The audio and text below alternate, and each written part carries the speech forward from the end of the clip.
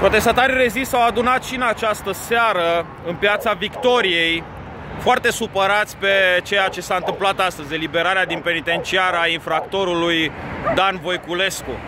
Pe bună dreptate, așa cum am mai spus, este scandalos să vezi că un șmecher, un mare șmecher, unul dintre cei mai mari șmecheri ai României, acuzat că a furat zeci de milioane din banii României, din banii care erau uh, pe conturile securității, un astfel de individ primește 10 ani de pușcărie, are de plătit 60 de milioane și scapă după 2 ani și 11 luni fără să plătească prejudiciul. Foarte mulți dintre dumneavoastră ați fost supărați pe justiție, așa, în general. Eu vă spun că cea mai mare pleașcă pentru mafioți acum este ca oamenii să meargă pe acest discurs că e o problemă cu justiția, că justiția nu e în regulă, că judecătorii sunt răi și așa mai departe. De ce? Pentru că regimul eliberărilor condiționate ține de ce se întâmplă în penitenciar. De ce îi validează penitenciarul deținutului. Ori în cazul de față lui Dan Voiculescu și pe, despre asta vroiam să comentez pentru că a făcut niște declarații la ieșirea din spital care arată cum minte omul ăsta din prima zi de eliberare a mințit sau a mințit când a ieșit din penitenciar sau a mințit când a spus că a scris 11 cărți, da? Uh, problema este că în penitenciar Dan Voiculescu a fost favorizat. I s-au dat foarte multe, se cheamă credite în uh, conform legii. Toate astea se adună și înseamnă zile de libertate mai devreme. Când se merge în fața unui judecător cu dosarul, dacă lucrurile astea sunt beton, sigur că judecătorul decide pe ce are la dosar. Atenție, e o chestiune de conștiință a judecătorului. Domne, nu judec persoana inculpatului, ci ce am în dosar și probele pe procedura respectivă. De aceea vă spun mare grijă.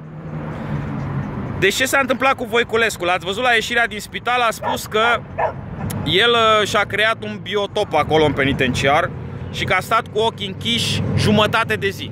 Așa a spus el cu gurița lui. Ori deja are o mare problemă, pentru că colegii de la o publicație din Timișoara au calculat la cele 11 cărți scrise câte pagini are fiecare carte, Dan Voiculescu ar fi trebuit să scrie 9 pagini pe minut.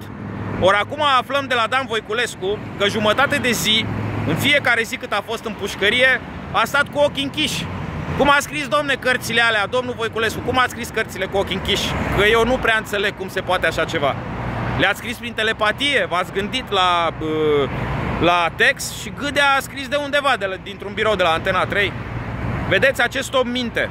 Ori noi avem deja o mare problemă cu ce s-a întâmplat acolo în penitenciar. Dar, dincolo de ce s-a întâmplat în penitenciar, avem o problemă cu legea, oameni buni. Legea este prost făcută. Treaba asta cu cărțile este făcută strict de șmecherii din politică pentru ei, cu dedicație. Și am să vă spun cu argumente de ce. Un hoț amărât care uh, fură și primește închisoare sau un criminal amărât nu știe să scrie cărți. Ca atare nu poate beneficia. Unul cu bani nu beneficiază pentru că profesorii universitari și cei care pot să scrie cărți nu se bagă pentru oricine. Înțelegeți? Deci poate beneficia un șmecher care are bani, dar care are și putere într-o formă sau alta, politică sau administrativă. Deci este o treabă pe care ei și-au făcut-o pentru ei. Este o mare mârlănie care ar trebui stopată povestea asta cu scriem cărți și ieșim din pușcărie. La fel cum ar trebui schimbată legislația în privința recuperării prejudiciilor.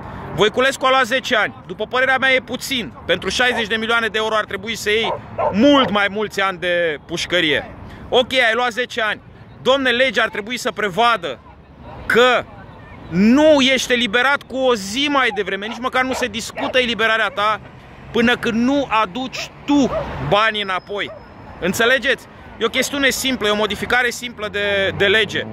Cel condamnat, dacă vrea să fie eliberat pe infracțiuni cu prejudiciu, să aducă banii înapoi, el să-i aducă.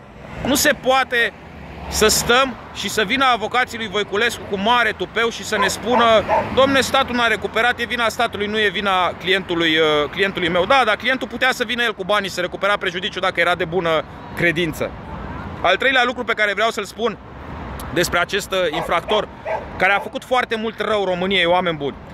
Dacă România a realizat cât rău a făcut Voiculescu României cu acest trus de presă prin care a dezinformat, a manipulat și a spălat pe creier milioane de oameni, dacă România ar înțelege, am fi în stradă milioane de oameni în fiecare seară. ar fi luat cu furcile de unde este el.